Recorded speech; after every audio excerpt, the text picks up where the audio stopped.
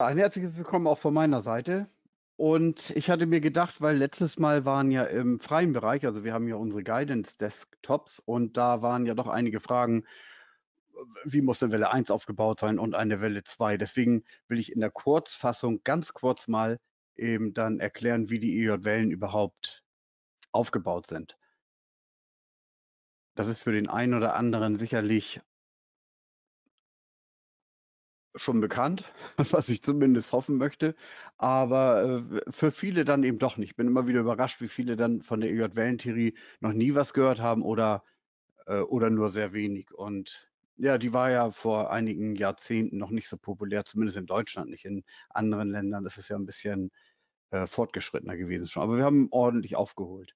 Und demzufolge einfach mal die ganz normalen Regeln, die zu einem Impuls gehören, damit man weiß, worüber ich rede. Weil viele sagen, ähm, äh, der Zug ist für mich abgefahren, so ungefähr, und ich verstehe nur Bahnhof. Und deswegen ein ganz, ganz kurzer Einblick. Also eine Impulswelle, so wie wir das hier sehen, besteht immer aus fünf Wellen. Und die sieht man hier, eine Welle 1, dann die Welle 2, eine Welle 3, die muss über den Hochpunkt der 1 gehen, und eine Welle 4 und eine Welle 5. So, das sind unsere 1, 2, 3, 4, 5 Wellen. Die gibt es natürlich im Aufwärtstrend wie auch im Abwärtstrend. Jetzt ich würde jetzt gerade sagen, böse Zungen behaupten, nein. Es macht Sinn, auf jeden Fall, wenn man eine EJ-Wellenanalyse liest und sieht oder selbst auch die, diese Methodik an einem Chart anwendet, dass man sich einfach sagt, okay, ich trade nur mit meinem Nachsteuerertrag die, Buch, äh, die Zahlen, Entschuldigung, die Zahlen, also die 1, die 3 und die 5 im Optimalfall und keine Buchstaben. Wer sich etwas näher mit dem Thema beschäftigt, der wird feststellen, es gibt ABC, es gibt Trendphasen in einem ABC, es gibt auch äh, komplexere Korrekturen. Aber wichtig ist, bei diesen 1, 2, 3, 4, 5 möglichst immer in Richtung 1, 3 oder 5 zu traden. Ob abwärts, aufwärts ist erstmal völlig egal. Wichtig ist in Richtung der Zahlen, also in der in Richtung der Impulswellen. 1, 2, 3 und 5, äh, 1, 3 und 5 und 2 und 4 sind ja Korrekturwellen, da hält man sich besser auch raus. Das nur mal so am Anfang. Ähm, jetzt haben wir die Welle 1 beispielsweise, die muss immer aus einem Impuls oder aus einem LDT bestehen. Und da haben wir hier einen ganz normalen Impuls mal dargestellt, wo wir jetzt, äh, die Unterwellen sind hier nicht eingezeichnet, aber eine 1, 2. Dann sehen wir hier die 3, 4 und die 5. Jetzt gibt es Sonderformationen von einem Impuls, wo die wo das LDT eben diese nicht gekennzeichnete 1, 2, 3, 4, 5 ganz besondere Merkmale eben haben muss, dann darf die 4 tatsächlich die 1 überschneiden. Ich erwähne das ganz kurz an dieser Stelle. Dann müssen aber diese, diese Welle, die 1 praktisch, die 3, wie gesagt, nicht eingezeichnet und die 5 auch wieder so einen Impuls, wie wir ihn hier übergeordnet äh, vorliegen haben, äh, aufweisen in den internen Bereichen. Also nur einfach, die Welle 1 muss ein Impuls sein, kann sich die 4 schneidet die 1 im Normalfall nicht. Es gibt eine Sonderform, die extrem selten, also ich will mal gleich sagen, man findet vielleicht ein LDT alle 20 Jahre. Ich habe damals mal gesagt, alle 10 Jahre, aber die letzten 10 Jahre gab es gar keins mehr. Ähm, wir haben eins entdeckt ähm, im EW-Paket beispielsweise, im Nasdaq 2000, ich glaube 10 war das. Im, aber richtig im Tagesschart. Ein wunderschönes LDT kann man heute noch äh, begutachten wenn der Kursdatenlieferant die Historie zulässt, was Guidance ja ermöglicht. Aber auf jeden Fall ein äh, LDT im Tageschart die letzten 20 Jahre äh, im NDX. Deswegen würde ich auf dieses Muster als eins erstmal gar nicht so drauf eingehen. Man muss ja nur nicht unbedingt einen Fall, wenn man jetzt äh, frisch dabei ist und die J-Wellentheorie lernen möchte, muss man ja nun nicht unbedingt die unwahrscheinlichste Formation am intensivsten lernen. So, dann sind wir schon bei drei. Die Welle 2 muss ein korrektives Muster aufweisen, außer einem Dreieck. Also die gesamte Welle 2, die wir hier im Pink haben, die muss, die darf alles werden. Wie vorhin schon mal angesprochen, äh, korrektive Muster, ähm, auch komplexere Muster. Ich habe das hier mal als ABC ganz normal skizziert. Und ähm, genau, außer einem Dreieck. Jetzt gibt es Korrekturformen, die 4, eine B, eine X und so weiter. Ähm, und die dürfen natürlich alle ein Dreieck ausbilden. Sehr ähm, nützlich ist es, wenn man ein Dreieck sieht, und das wird der eine oder andere sicherlich im Chart mal irgendwo erkennen. Vielleicht sehen wir gleich noch eins, wenn wir durch Ich gebe, achte da mal drauf. Äh, aber wenn man ein Dreieck erkennt, dann weiß man automatisch, aha, das ist keine Welle 2. Und es ist nach dem Ausschusskriterium immer schon wichtig, dass man überhaupt weiß, mit wem habe ich es nicht zu tun. Also Dreieck, keine Welle 2. Jetzt könnte ich sagen, keine Welle A, keine Welle W, aber so weit wollen wir gar nicht einsteigen. Aber man weiß dann zumindest, wenn man Formation sieht, Dreiecksformation leicht erkennbar, ähm, dass es keine 2 ist. Und das ist schon ein Mehrwert gegenüber einer äh, wenn man es nicht wüsste, sag ich mal, einer anderen Handelsmethode oder Nachrichten oder irgendwas. Jeder hat ja seine unterschiedlichen Wege an der Börse gefunden. So, auf jeden Fall, die Welle 2 muss ein korrektives Muster aufweisen, außer ein Dreieck. So schlimm kann es nicht sein, das kann man sich merken. Die Welle 2 darf nicht über 99,9% der Welle 1 korrigieren, retracen, genau. Das heißt, die Welle 2 darf nicht den Ursprung der Welle 1 berühren. Hier haben wir das äh, beispielsweise so die Welle 1 ähm, gepunktet, skizziert mal. Und das ist ja die 1, 2, 3, 4, 5 wieder. Und die 2 darf nicht unter diesen Ursprung. Hier fängt ja die pinke Welle 1 an.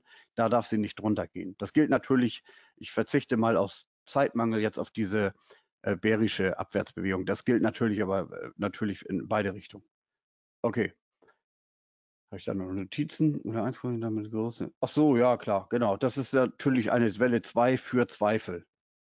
Die steht für Zweifel da und viele werden schon bemerkt haben, dass die Zweifel einer Welle 2, die dort bei den, bei dem psychologischen, äh, die, die, diesen psychologischen Aspekt eben liefern, durchaus immer wieder auftreten.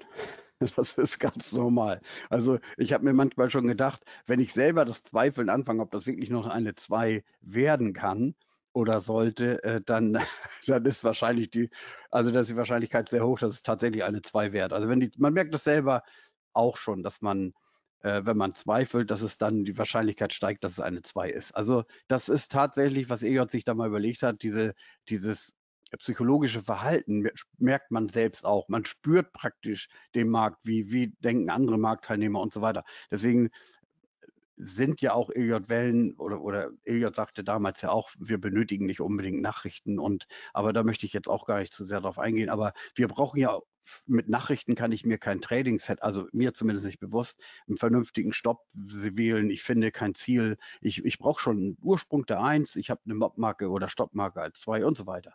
Also die Welle 3 muss auf jeden Fall ein Impuls sein. Und die muss, naja, okay, ist gleich das nächste dann. Die 2 darf den Ursprung nicht verlassen, äh, nicht unterschreiten oder überschreiten, je nach Trend. Und äh, die Welle 3 muss ein Impuls sein. Die Welle 3 darf nie die kürzeste Welle sein im Vergleich zur Welle 1 und 5. Kleiner Trick, gleich noch mal kurz am Rande, aber ähm, das wird hin und wieder verwechselt, wenn man äh, sich gerade frisch vertraut macht mit der Elliott-Wellentheorie. Dann sagt man sich, okay, die Welle 3 darf nie die kürzeste Welle sein. Das ist auch okay, aber dann sieht man beispielsweise mal eine 5, die wird länger als die 3, aber das darf sie, wenn die 3 länger war als die 1. Es, äh, es steht ja nirgends geschrieben, ich sehe den Fehler nur häufig, deswegen, äh, es steht ja nirgends geschrieben, dass die drei nicht, äh, dass die fünf nicht länger sein als die drei, nicht länger sein darf als die drei. Gerade bei Rohstoffen, Bitcoin, Forex-Werten und so weiter, da haben wir das ja sogar sehr häufig. Bei Aktien und Indizes ist ja die drei immer die längste. Nicht immer, 99 Prozent, sage ich mal. Okay, also die Welle 3 darf nie die kürzeste Welle sein. Wenn man also so einen Impuls hier sieht, dann stellt man fest, oh ja, schöner Fünfer, alle Regeln passen, die ganzen Regeln, die wir jetzt durchsprechen. Diese Regeln passt auch, selbst die 3 ist ähm, ein Impuls und ähm, die 5 ist auch wieder ein Impuls, aber die 3 ist die kürzeste Welle. Und dann weiß man, es ist keine 3. Dann kann das eine A, B, C, A, B, C sein. Möchte ich jetzt auch nicht länger darauf eingehen. Auf jeden Fall weiß man, äh, wenn das die kürzeste Welle ist, dann ist das nicht möglich und man hat es wieder mit Buchstabensalat zu tun. Und Buchstabensalat heißt automatisch, der schwer verdiente Nachsteuerertrag, der bleibt unangetastet. Das ist kein Trade wert. Ähm, jetzt könnte ich auch wieder sagen, damals wurde mir das mal zur Last gelegt, ähm, dass ich gesagt hätte, habe, ohne Count kein Trade. Und dann sagt natürlich der Nächste, also nur hört mal zu, ich bin hier absolut erfolgreich an der Börse und habe noch nie gecountet und viel getradet. Wie kann man zu so einem Entschluss kommen?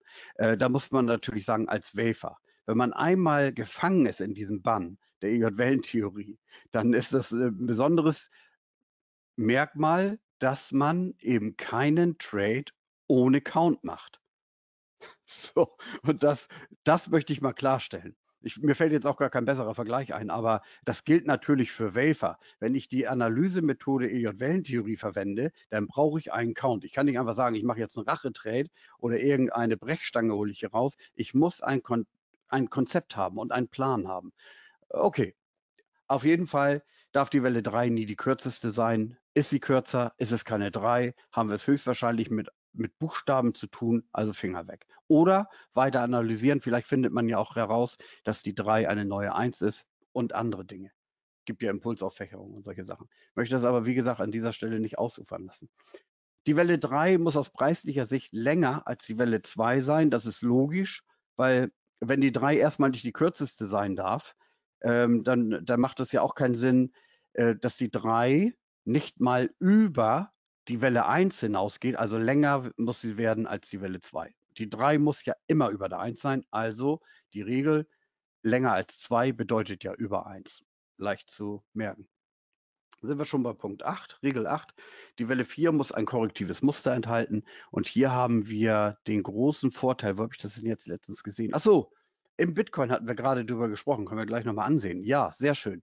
Ähm, die Welle 4 darf in diesem Fall tatsächlich auch ein Dreieck sein, weil die, ähm,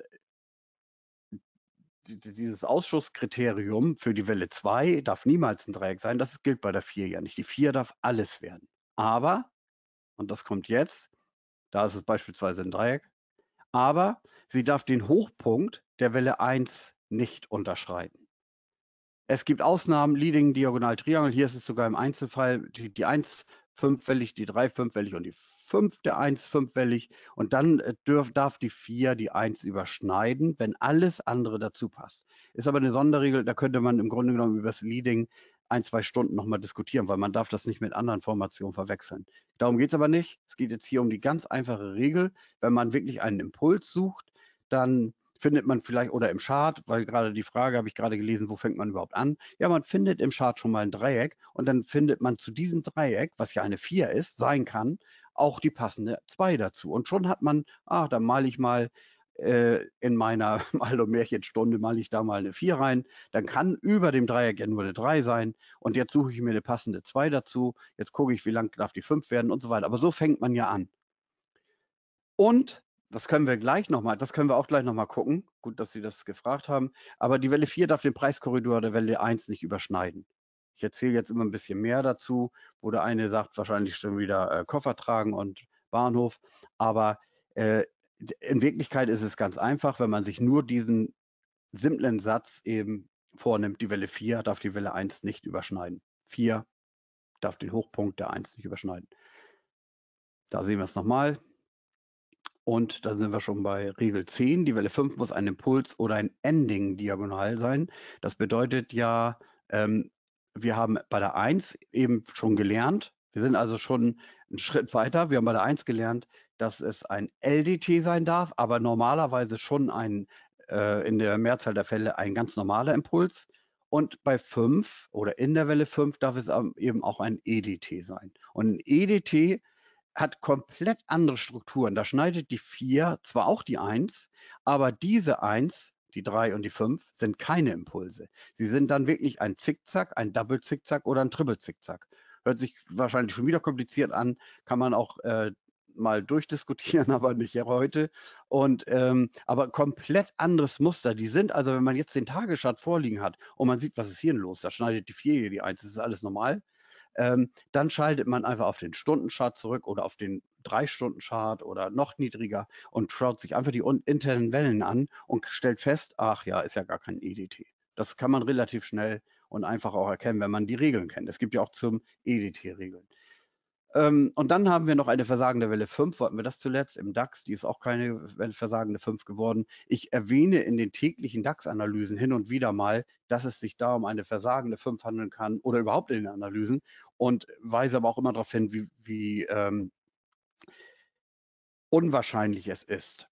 Ich man hat sicherlich drei, vier, fünf versagende Fünfen irgendwann in den letzten zehn Jahren, wenn ich jetzt mal richtig zurückerinnere, äh, gesehen und gefunden. Die, ne, eine versagende Fünf ist von der Wahrscheinlichkeit her noch ein bisschen höher als ein LDT, was wir am Anfang besprochen hatten. Aber ähm, es ist eben auch sehr selten, dass eine 5 versagt. Und äh, Versagen spricht man, wenn die 5 nicht über die 3 geht, aber sie muss mindestens 70 Prozent der 4 erreichen.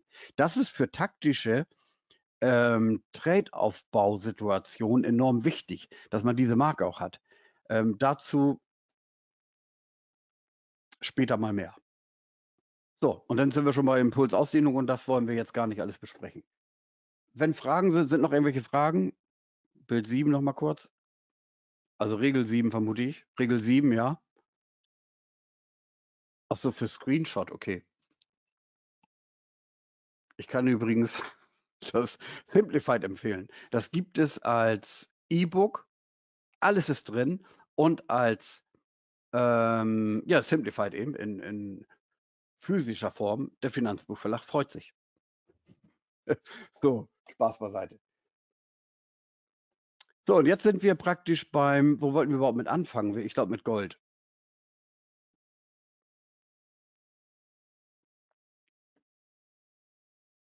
Wenn es Fragen zu Gold gibt, bitte einfach stellen. Ich werde jetzt erstmal das erzählen, was ich so weiß. Und die Überschrift, ich weiß gar nicht, wie hieß das? Zehn Jahre Stillstand, glaube ich. Zehn Jahre Stillstand. Und ähm, hier, hier sehen wir das beispielsweise, eine 1-2. Und jetzt würde man ja, jetzt darf sich die Frage gestellt werden, warum ist das da oben keine 3? Und wir sehen jetzt eine ganz normale ABCDE, das kriegt man sicherlich auch irgendwie als Dreieck. Ja, das kriegt man sogar als Dreieck hin, das weiß ich. Und äh, warum ist das nicht einfach die 4? Selbstverständlich, das kann auch die 4 sein. Jetzt gibt es verschiedene Möglichkeiten, eine neue 1 von einer 3 zu erkennen, aber darum geht es jetzt und heute und hier gar nicht. Es geht ja darum, ich glaube, der eine oder andere klassische Charttechniker wird das irgendwie sicherlich bestätigen können. Es gibt ja, und ich verwechsel das immer wieder, es gibt vielleicht kann das mal jemand reinschreiben, Cup With Handle oder Cup End Handle Formation. Ähm, wie auch immer, auf jeden Fall sehen wir seit dem Jahr 2000 ja einen dramatischen Kursanstieg. Und hier hatten wir ja schon eine 1-2. Und jetzt die Zweifel beispielsweise, ich war live dabei, wo die zwei sich ausgebildet hat. Und wie hoch die Zweifel waren, hatte ich da schon, ja, ja, da hatte, fing ich gerade an mit der Erdwellentheorie und habe selbst mitgezweifelt und äh, bin zum eben zum Spielball der Emotionen geworden. Das muss man schon so sagen äh, zu dieser Zeit. Das ist aber schon 20 Jahre her. Aber ähm, die zwei habe ich live miterlebt hier. Und die Zweifel waren wirklich groß und hoch. Aber es war ein Impuls. Kann man sich gerne ansehen, auch wenn man die Kursdaten hat, mal im Tageschart, wie auch immer. Aber darum geht es jetzt auch nicht. Es ging ja jetzt um die Cup-End-Handle, Cup-With-Handle, egal. Niemand antwortet, wahrscheinlich weiß es keiner. Also dann äh, muss ich mir da keine weiteren Sorgen machen. Auf jeden Fall sieht man jetzt irgendwie, dieses ist ja so eine Händelformation, irgendwie so halbrund, so ein Halbmond. Am Mond muss ich immer an Bitcoin denken, nein. Also aber so ein Halbmond beispielsweise, den man hier sieht, und jetzt bildet sich praktisch das gleiche nochmal aus. Wenn man das sich äh, beispielsweise in zehn Jahren mal ansieht, dann sagt man sich, wieso habe ich eigentlich nicht geglaubt, dass Gold auf 15.123 steigt? Das war doch alles offensichtlich. Im Nachhinein weiß das ja jeder nachher auch. Das darf man ja nicht vergessen. Selbst die Bild. Nein, weil ja keine Schleichwerbung machen. Aber auf jeden Fall äh, kann man doch irgendwie so feststellen, das ist so eine, Art, so eine Art Henkel. Und das gleiche bildet sich hier auch. Und jetzt ist es natürlich enorm wichtig, dass sich diese Eins hier oben wirklich auch als Impuls ausbildet. Wir sehen hier eine hochgesetzte E-Welle wenn man Wx und dann haben wir, die, gut, da haben wir eben jetzt nicht drüber gesprochen, aber eine A, B, C, D, E ginge als Y und dann ist hier einfach eine 2 fertig. Und zwar nicht irgendwo im Tief, wo man das erwarten würde, sondern mitten im Gemurkse, würde ich mal sagen, bildet sich auf einmal ein Impuls. Und wenn wir uns den mal näher ansehen wollen, dann können wir das, glaube ich, hoffentlich zumindest machen. Äh, hier ist er. Das ist jetzt Gold aus diesem Gemurkse heraus. Cup Handle. Cup and Handle. Vielen Dank. Äh, Cup and Handle Formation. Ähm, mitten aus diesem Gemurkse heraus, was eventuell ja die 2 ist, haben wir jetzt festgestellt, brauchen wir zumindest, wenn wirklich die 3 laufen soll, eine grüne 1 ist da ja äh, erforderlich. Jetzt muss ich gerade selbst noch mal kurz zurückschalten. Brauchen wir überhaupt eine grüne? Ja klar, wir brauchen eine grüne 1. Genau, die grüne 1 ist ja vielleicht, hier sieht man ja die grüne 1 im Monatschart. Es kommt aber gar nicht auf die Farbe jetzt unbedingt drauf an.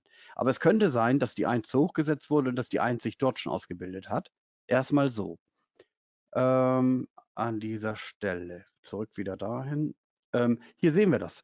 Hier sehen wir jetzt auch eine Impulsaufwächerung. 1, 2, 1, 2, 1, 2. Die 3 ist länger als die 1. Wenn das vorliegt, ach so, ich wollte ja noch einen Trick erzählen. Der ist auch aber im Grunde genommen offensichtlich für ähm, Marktteilnehmer, die kein Pech beim Denken haben.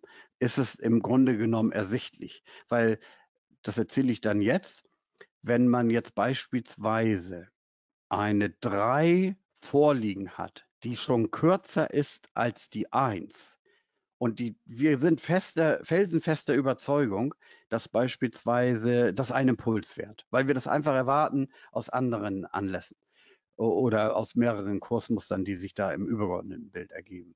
Wenn die 3 also kürzer als die 1 ist, und ich möchte jetzt unbedingt das hochshorten. Das gibt es ja gegen den Trend. Es gibt aus wellentechnischer Sicht, ich will ja nicht unbedingt sagen, dass es immer Sinn macht, aber es gibt aus wellentechnischer Sicht Situationen, wo Shorten Sinn macht. Können wir auch gleich nochmal gucken. Äh, auf jeden Fall, wenn die 3 schon kürzer ist als die 1, dann darf die 5 ja nicht länger werden als die 3, sonst wäre die 3 nicht die kürzeste Welle. Wenn man sowas vorliegen hat, also 3 kürzer als 1, dann darf die 5 auf gar keinen Fall länger werden als die 3. Dann kann ich mir ein Ziel ermitteln, indem ich ganz normale Fibonacci-Projektionen anlege. Und wenn ich, wie gesagt, der Meinung bin, dass es wirklich ein fertiger Impuls, keine Impulsaufwächerung, dann würde man irgendwo da shorten können. Das äh, bietet sich auch an.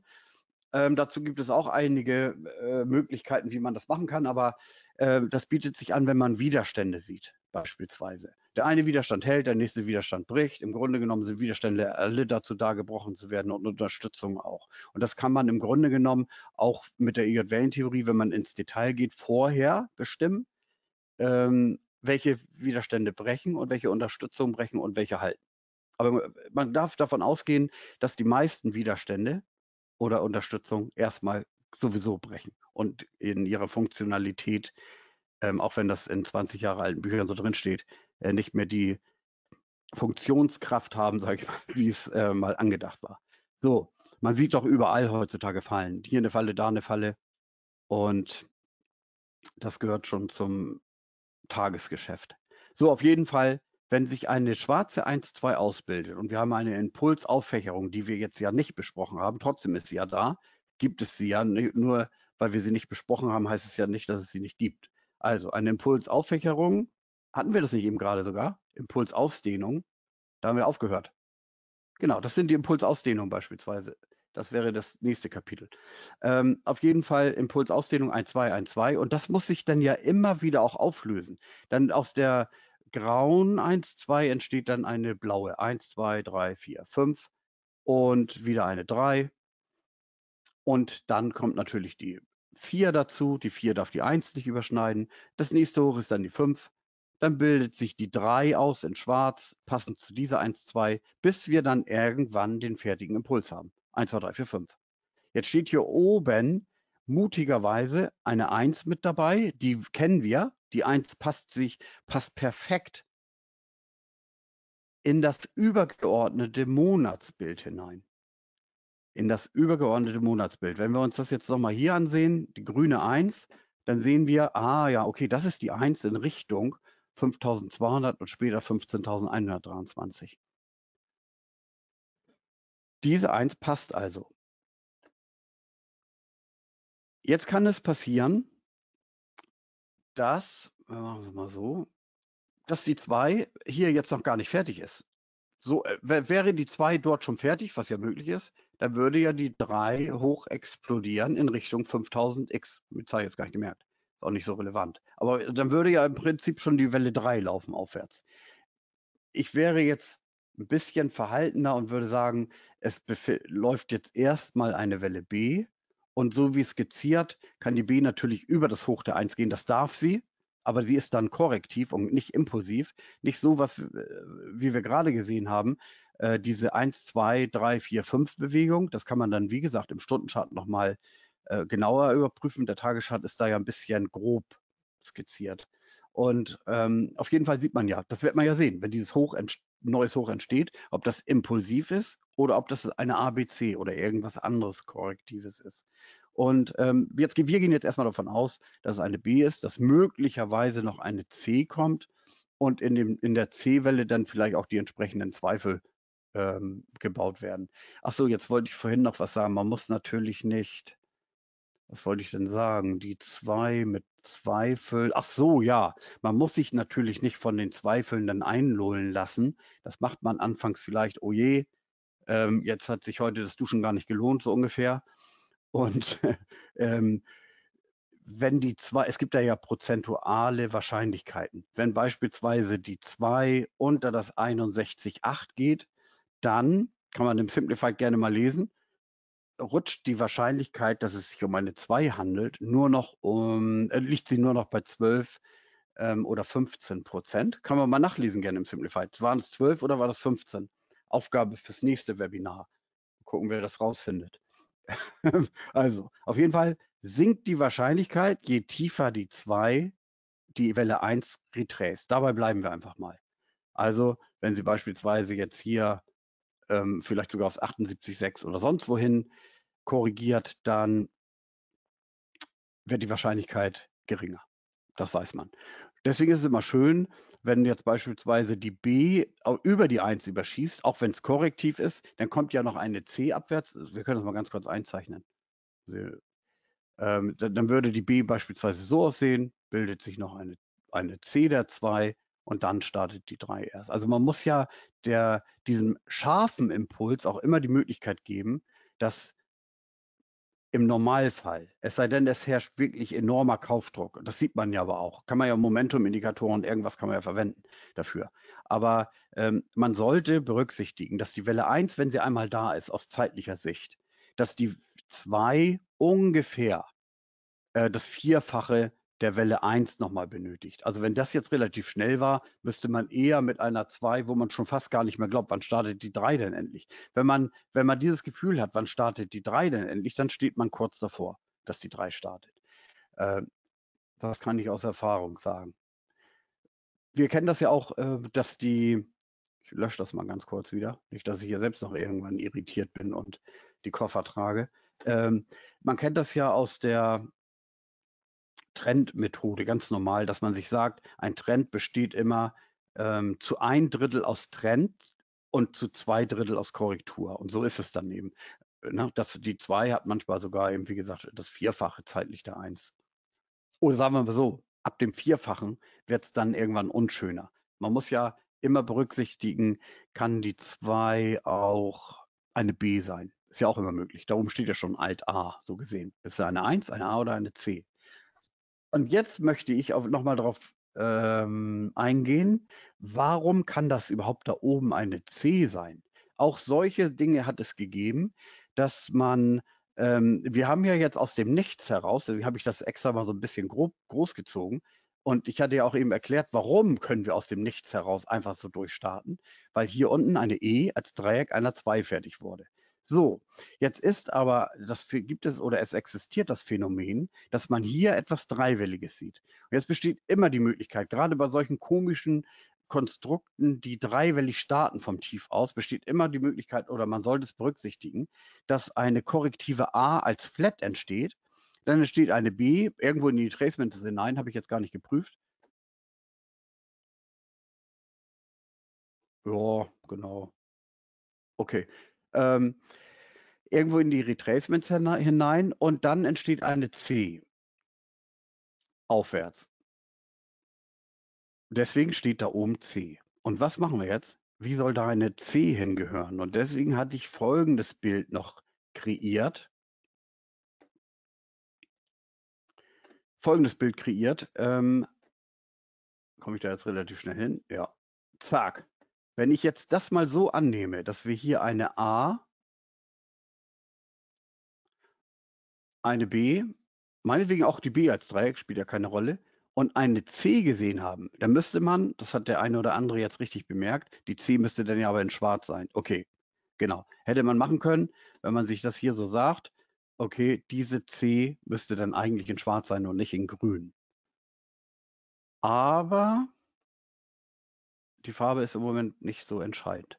Und wenn wir jetzt beispielsweise eine C annehmen dort oben, dann würde tatsächlich noch Ende März haut wahrscheinlich nicht hin. Die zeitlichen Ziele sind, das ist immer so eine Sache. Im DAX hatten wir, im DAO hatten wir, glaube ich, jetzt auch die Korrekturmarke sehr sauber erreicht. Oder war das nicht im DAX? Im Bund Future war das. Im Bund Future haben wir jetzt, da, da läuft ja tatsächlich diese Bärenfalle im Bund Future. Und da waren wir, die sollte irgendwie Ende letzten Jahres schon zu Ende sein. Die ist ja jetzt erst da. Der Bund Future ist ja später eingebrochen. Also jetzt erst zu, ich glaube, Beginn diesen Jahres. Und äh, angenommen wurde schon zum Ende letzten Jahres, ich glaube sogar September. Also Zeitziel völlig verfehlt, muss man ja mal ganz klar so sagen. Ähm, aber das geht ja auch nicht immer darum, um das zeitliche Ziel, sondern dass wir diese Bärenfalle jetzt tatsächlich sehen, die wir erwartet haben. Wir haben gesagt, Zinsen steigen und das wird eine Falle. So, wichtig ist ja schon mal, dass die Zinsen überhaupt steigen. Das heißt, die Analyse grundsätzlich war schon mal richtig. Zinsen steigen. Ob das eine Falle wird, weiß nur die Zukunft kann man nur in der Zukunft sagen. Wir haben eine Falle erwartet, die ist jetzt da.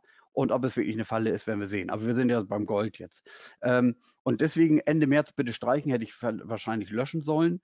Ähm, wenn sich jetzt hier oben das als C entwickelt, tatsächlich als C entwickeln sollte, Wahrscheinlichkeiten, ich würde sagen, unter 50 Prozent. Aber wenn sich das als C entwickeln sollte, dann ähm, wissen wir, Ursprung der Eins darf nicht unterschritten werden, auch wenn wir es spät wissen.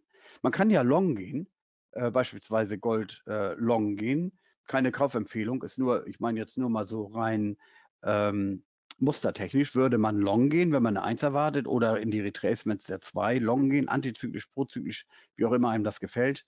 Eigene Komfortzone ist da wichtig, wie man das am liebsten mag. Und wenn man dann nicht mehr als ein Prozent verliert auf das Gesamtdepot, ich will nicht sagen, dass es kein Versuch wert ist, aber wenn man nicht ein Prozent mehr verliert auf das Gesamtdepot vom Nachsteuerertrag, dann hat man alles richtig gemacht. Und wenn wir jetzt nochmal den Chart so nehmen, ähm, dann würden wir sagen, okay, wir haben gerade eben gelernt, unter 1780 darf das nicht fallen. Jetzt sagt der eine oder andere sich, oh ja, aber hier oben ist das Chance-Risiko-Verhältnis nicht so schön. Wenn das eine 1 war, und wir ein Ziel von 5000 X haben, erstmal vorläufig, dann spielt das, dann ist das Chance-Risiko-Verhältnis sehr wohl schön und gut. schön ist ja auch wieder Geschmackssache. Aber es ist auf jeden Fall ist das Chance-Risiko-Verhältnis ähm, akzeptabel, sagen wir mal so. Und man hat ja sogar die Möglichkeit, wenn man jetzt davon ausgeht, dass noch eine B entsteht und noch eine C kommt sogar, dass man vielleicht sogar noch mal viel besser oder günstiger reinkommt. Das kann passieren. Ähm, was man nicht machen sollte, ist, dass man sich diese ähm, psychologische Blockade setzt. Man ist zu spät dran. Ich glaube, nee, ich glaube nicht, ich weiß es auch, wenn man immer der Zweite ist, ist man langfristig erfolgreicher, als wenn man immer der Erste sein will. Beispielsweise wie der Krog.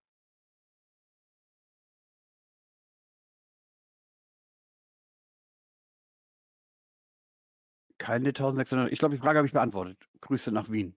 Die Frage habe ich beantwortet. 1624 kann natürlich noch entstehen. Wenn das eine, aber wann weiß ich das denn? Unter 1780 weiß ich, ach man, das war keine Eins. Dazu komme ich jetzt aber gleich auch nochmal. Ich würde das, also überhaupt, wann weiß ich, dass eine Eins ist? Wann weiß ich, dass es eine A ist oder C ist? Äh, das kriegen wir, glaube ich, auch noch hin. Wir müssen jetzt ein bisschen Gas geben. Ähm, Gold ist damit abgehakt, würde ich sagen, wenn keine weiteren Fragen bestehen. Diese Entwicklung jetzt äh, entscheidet quasi schon ähm, für die nächsten, ich will jetzt nicht übertreiben, aber für das nächste Jahrzehnt. Die Überschrift war ja zehn Jahre Stillstand. Und äh, wir haben ja wirklich von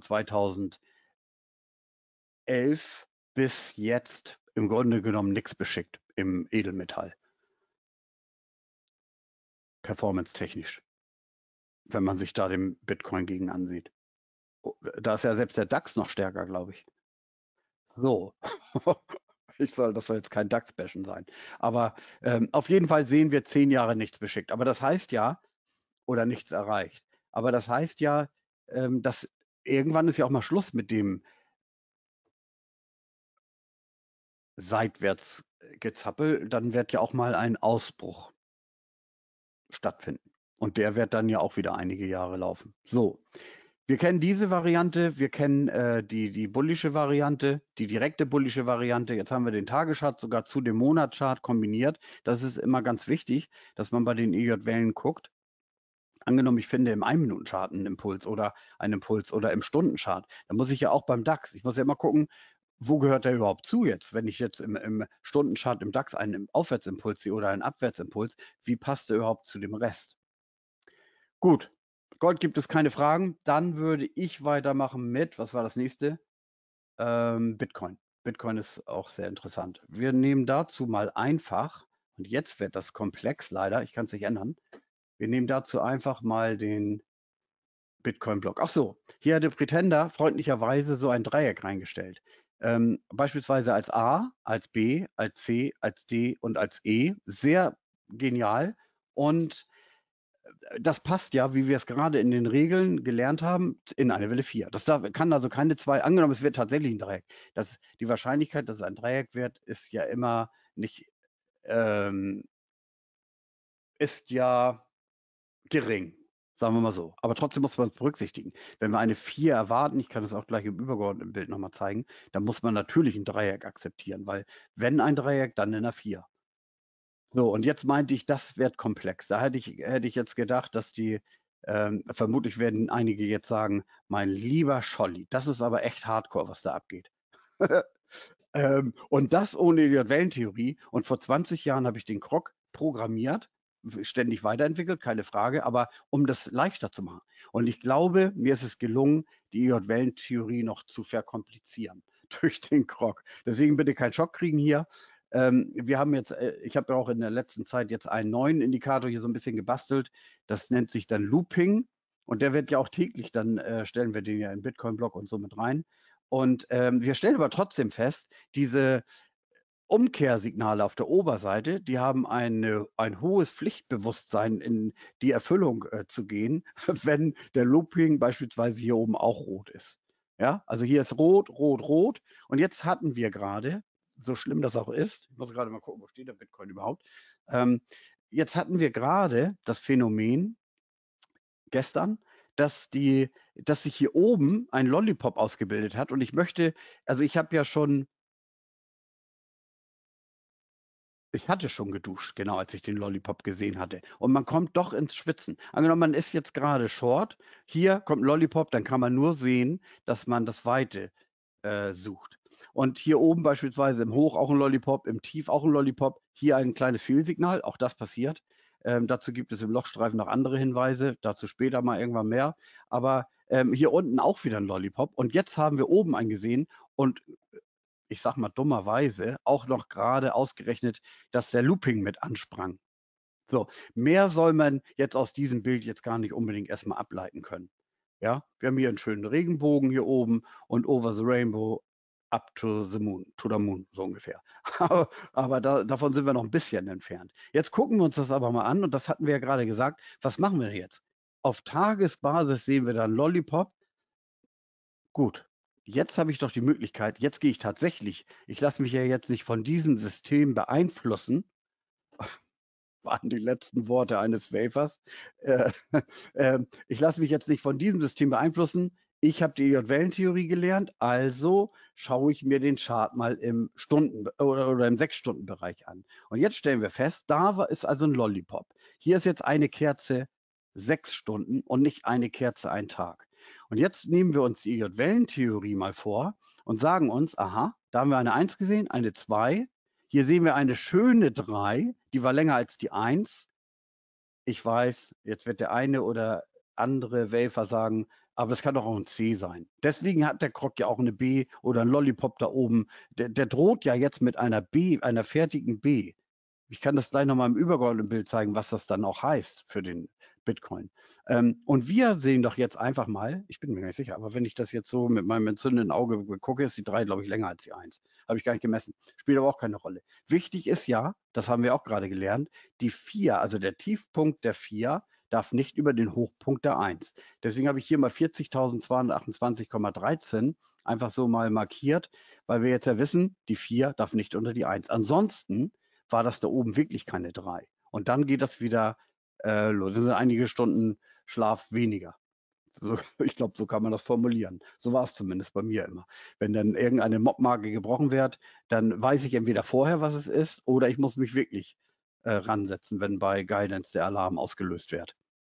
so. Ähm, okay, das also zu, das ist, dass wir wellentechnisch möglicherweise noch die 5 erwarten. Warum nicht? Ist möglich.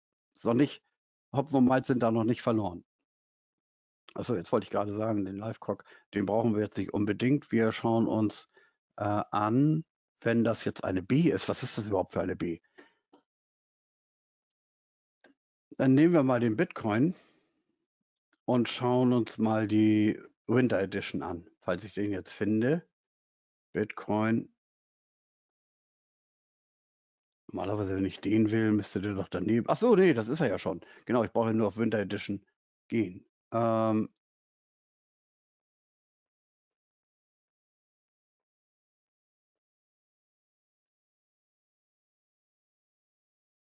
möchte jetzt gar nicht unbedingt alle äh, Szenarien hier beschreiben. Das ist unser Running 4. Ähm, wenn ich jetzt, wenn ich, falls ich das richtig sehe, ist das beispielsweise eine 4. Und von Pretender hat er ja gerade geschrieben, kann auch sein, dass ein Dreieck wird, dann ist das die A, die B, die C. Wir sehen eine D und E. Ja, möglich. Ist ein sehr gutes Argument. Ähm, hier sehen wir den bullischen Count. Ich wollte ja nur mal zeigen, was es werden kann, wenn es die B ist. Ah ja, da haben wir es. Kleinen Moment. Ich weiß nicht warum, aber da waren wieder äh, Updates und mit jedem Update wäre das hier schlechter. So, wenn wir diese C der B sehen, die B haben wir ja gerade kennengelernt mit Lollipop und allem drum und dran und falls die 1 unterschritten wird und so weiter. Ähm, hier nochmal. 1, 2, 3, grüne 4 und die 4 darf die 1 nicht überschneiden. Schneidet die 4 die 1, das müsste man noch ergänzend erwähnen, schneidet die 4 die 1, bevor die nächste 5 oder das nächste Hoch entsteht, dann haben wir hier einen Regelbruch. Mal angenommen, es kommt jetzt wirklich der Lollipop hält und äh, die 1 wird gebrochen. Dann hätte ich im Grunde genommen ein Short-Setup. Ja, wenn man mal aus, davon ausgeht, dass wirklich, äh, dass die fertige B oder so angenommen werden sollte. Macht nicht so viel Sinn, ähm, weil die B in der Summe, also die pinke C in der Summe über die A müsste normalerweise, oder war sie da schon? Habe ich jetzt gar nicht, nö, wenn man jetzt so rüberpeilt, ist sie sogar noch tiefer. Ich weiß, die B kann auch ein Dreieck werden und so weiter, möchte ich jetzt auch nicht drauf eingehen. Aber wir haben doch mal eine wichtige Marke, wann es kein Impuls mehr sein kann, wenn, die, wenn der Hochpunkt der 1 gebrochen wird. Deswegen haben wir ja gerade mal ähm, die Regeln auch besprochen. So, und diese B ist eben diese B. Und dann sehen wir unseren Kryptowinter. Wie viel Grad gibt es eigentlich? Wie viel Grad sind eigentlich auf dem Mond? Weil irgendwann äh, ist man beim Mond angekommen und ist der Meinung, man ist immer noch im Winter. Ich weiß gar nicht, wie kalt ist es da? Weiß es jemand so? So, auf jeden Fall, diese C birgt dann ja die Gefahr, da kann man auch Retracements noch einsetzen. Die B macht häufig 50 oder 61,8 der Abwärtsbewegung. Und wenn es da zur Schwäche kommt, vielleicht hat der Krog auch ein Fehl, äh, Fehlsignal, mal wieder ein Fehlsignal. Nein, vielleicht hat der Krog auch ein Short-Signal in diesem Bereich. Und minus 273 Grad. Sehr gut. Vielen Dank. Ähm,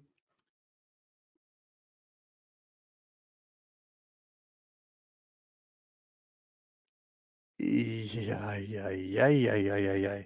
Die Frage, genau, wenn man jetzt nur hoddeln möchte, was muss man dann berücksichtigen? Also ja, genau, es gibt ja die Möglichkeit, dass man kein, also Bitcoin nicht tradet, sondern eben sammelt. Wäre alles Jäger und Sammler bei den Kryptos. Und so wie damals im neuen Markt. Ich möchte den Bitcoin nicht mit dem neuen Markt vergleichen, aber die Vorgehensweise der Marktteilnehmer in den Kryptos ist tatsächlich so, das sind alles Jäger und Sammler und trennen sich von nichts. So, und hoddeln, was das Zeug hält. So, aber wenn man das jetzt vorhat, dann kann man das ja machen, äh, dass man sich sagt, okay, ich bin mit einem Drittel investiert. Ich hoffe ja sowieso, dass alle hier gekauft haben, unten, wo die Zweifel am größten waren.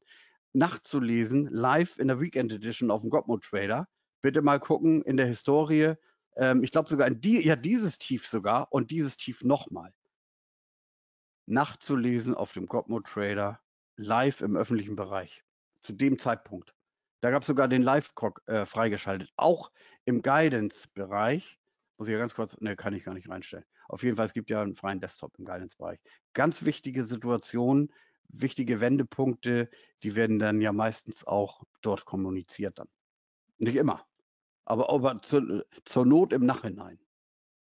ich hätte sowieso Nachrichtensprecher werden sollen, ähm, weil es viel einfacher ist, die Vergangenheit als Nachricht zu präsentieren, als hier äh, die Vorrichten erahnen zu wollen.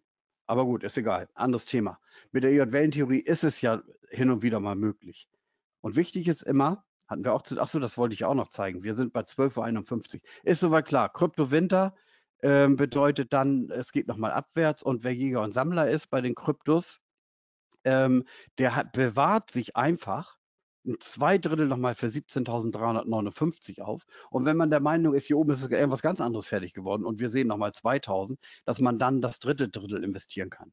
Ich glaube es nicht, aber ich, es ist ja nichts unmöglich an der Börse. Und gerade, ach ja, das war ja auch die Überschrift, irgendwie eine unbeliebte äh, Währung ist der Bitcoin. Ja, ist ja wirklich nicht so beliebt. Überall wird ja überall oder an vielen Stellen ähm, als, ach, ist auch nicht so wichtig. Je, je unbeliebter er ist, desto höher steigt er. Bleiben wir mal dabei. Und muss man auch sagen, es gibt natürlich im Kryptobereich auch neben dem Bitcoin viele Kryptowährungen und interessante Dinge, die ähm,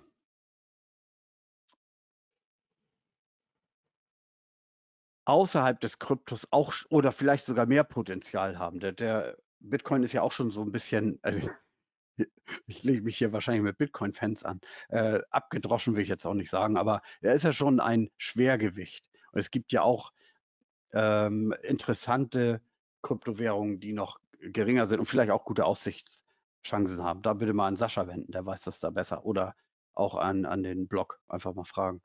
Okay, also das zum Bitcoin. Jetzt wollte ich noch was sagen bezüglich unserer Einstiegsstrategien. Genau, das ist im Grunde genommen gar nicht geplant, aber ich hatte ja eben versprochen, ich gebe noch mal ein Beispiel. Ich versuche jetzt mal die die äh, hier sind wir beispielsweise eingestiegen. Das ist eine wir traden da ja im EWT beispielsweise Aktien, ist gar nicht Thema heute, aber ich wollte es nur mal ganz kurz erklären. Da nehmen wir eine zweifelhafte 2 Tag Long. Und jetzt haben wir das Zeug dazu, diese Tiefs auch tatsächlich abzugreifen. Aber wir haben genauso gut das Zeug dazu, die Gewinne laufen zu lassen, bis sie wieder weg sind. Also das ist kein Problem. Ähm, ist jetzt ein bisschen spaßig gemeint, aber das ist doch ein Luxusproblem. Wenn wir exzellente Einstiege finden und den Stopp, das haben wir hier auch gleich gemacht. Einstieg gefunden, zack, neues Hoch, Stopp auf Einstand. Uh, davon gibt es mehrere, aber auch mehrere, die nicht funktionieren, aber in der Mehrzahl funktioniert es. Ich kann das gar nicht genau sagen kann man ja hier einfach mal durchgehen. Das sind auf jeden Fall die laufenden Basiswerte, die wir hier noch haben. Ähm, zuletzt haben wir sogar, was haben wir zuletzt gekauft? Wie so oft findet man nichts. Ist auch nicht vorbereitet gewesen hier. Ach so, hier, genau. APA. Ziel erreicht, zweites Ziel sogar erreicht und man hat dann immer die Möglichkeit, den Stopp auf Einstand nachzuziehen. Mit der J-Wellentheorie ist also eine unterstützende Möglichkeit zum Einstieg äh, möglich, möglich. So, zum Bitcoin gibt es hoffentlich keine weiteren Fragen. Ansonsten, wir wissen, es kann auch nach oben ausbrechen in der Summer Edition. Und es kann, also das wäre jetzt beispielsweise mal so ein Hinweis. Ähm, wenn, man könnte jetzt sogar antizyklisch die 4 traden, die wir gerade kennengelernt haben, oder auch die, äh, die 5 natürlich, nicht die 4. Das Ende der 4 erwischen und dann die 5 traden und dafür haben wir beispielsweise, das ist jetzt wahrscheinlich auch ein bisschen zu überfordernd, ja, eine Bitcoin-Block Box. Ähm, hier haben wir beispielsweise falsch. Wir müssen Euro dann noch besprechen. Da ist der Live-Krog.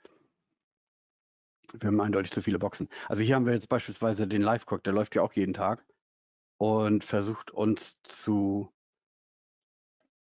ähm, zu umgehen und zu täuschen. Nein, Spaß beiseite. Da gibt es auch Signale, die man natürlich ein bisschen kennen sollte dann auch.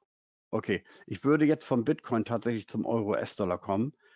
Ähm, das schaffen wir auch schneller. Wir haben jetzt mit den anderen Werten ein bisschen viel Zeit verbracht. Aber Euro-S-Dollar steht auf der Agenda und das sollten wir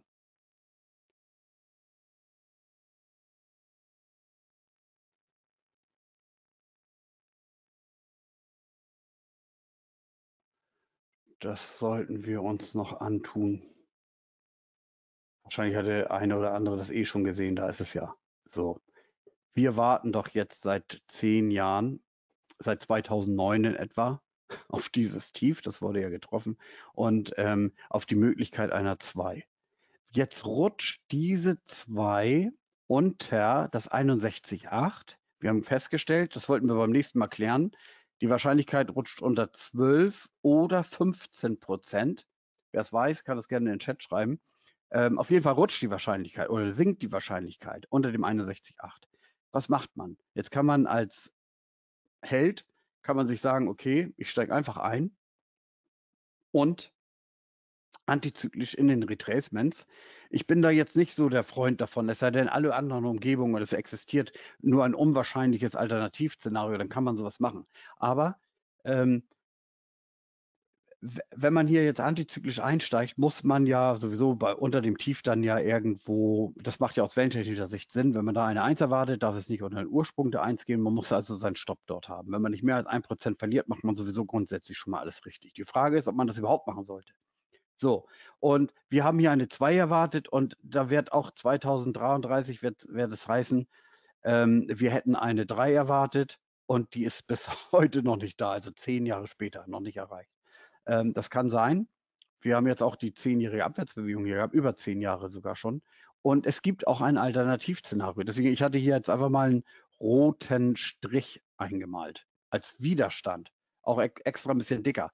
Wenn man jetzt vom Chance-Risiko-Verhältnis ausgehen sollte und die stärkste Welle 3 der 3 kommt hier zur Entfaltung, dann muss man sich mal vorstellen, dann warte ich meinetwegen dieses Hoch ab, also den Ausbruch ab, bin der Zweite, wir haben ja gesagt, der, der Zweite hat es immer ein bisschen einfacher als der Erste. Die Ersten, ähm, die Trader, die als erstes da sein wollen, der Krog versucht das auch immer wieder, aber die sind, die wechseln sich öfter mal, weil sie entweder ähm, zu wenig Erfolg hatten oder wie auch immer. Aber man muss nicht immer der Erste sein. Man kann auch prozyklisch agieren, wenn die Situation das mal äh, hergibt.